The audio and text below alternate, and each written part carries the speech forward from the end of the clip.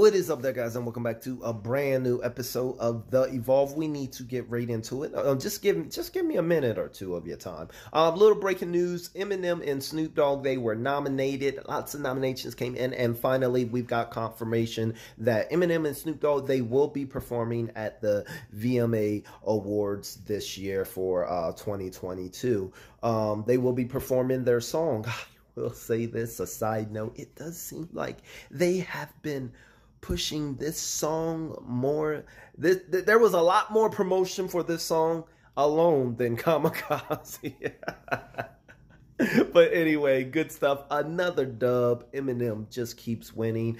And um, like I said, they are pushing um, rather it's the song or the relationship that all is good and let's let us know that all is good. But uh yeah, VMA uh Eminem. Now not just that, um, not just them performing, but also the game he put out that he, yes, the Black Slim Shady will be going on tour. It has been confirmed. It is official. He has already released his uh, tour dates um, of where he's going to be going. It's going to be starting November 25th, right around my birthday there, around November 19th. But um, yeah, he's going to be going on tour. So basically, uh, the Black Slim Shady is going on tour.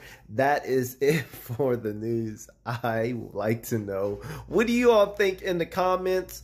Um, uh, will you all be watching the VMA this year now? I know that you guys hardly ever watch it unless it, there's an artist or a video or music or someone that you care about. So will you be watching it this year? And also, what do you think about the tour dates? You know, will this help with sales? Will this help, um, you know, with Drillmatic? How you all feel about it and all that other good stuff? I like to know what you think in the comments. I will see y'all in the very next video. As always, Cappy keep it positive.